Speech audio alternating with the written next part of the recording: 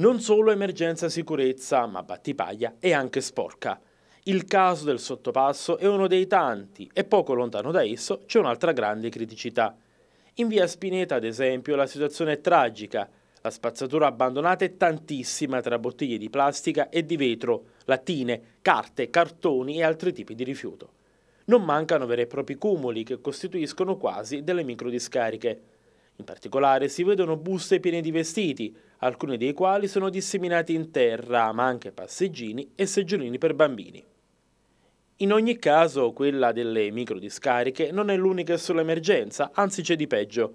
Nella via incriminata corre un canale di scolo che dovrebbe fungere a convogliare le acque piovane e a rilasciarle poi nei tombini. La recente e prolungata mancanza di precipitazioni ha fatto sì che lo stesso non avesse utilità, ma ugualmente non viene pulito. La vegetazione ormai è padrona indiscussa ed è facile capire come la pulizia non venga effettuata da mesi. Se così non fosse, le erbacce non sarebbero così alte e di certo gli alberi di fico non avrebbero raggiunto tali dimensioni. Il canale è dunque otturato e l'acqua, nonostante il caldo, ristagna al suo interno tra la vegetazione ed altri rifiuti.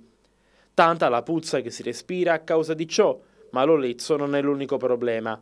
L'acqua stagnante attira animali vari come roditori o rettili oltre a creare l'habitat ideale per la proliferazione di insetti quali mosche e zanzare. Insomma, pare che Via Spineta sia un mondo a parte, eppure una strada di collegamento importante nella quale transitano anche mezzi pubblici. La società Alba, oltre a indire bandi di concorso, cosa fa? Perché non vede e non agisce? Domande che difficilmente troveranno risposta, ma nel frattempo il battipagliese paga un servizio che nei fatti non viene espletato e non si venga a dire, come è accaduto, che il lavoro è eseguito, perché le segnalazioni dei cittadini sono tante e la realtà dei fatti è quella che si vede nelle immagini.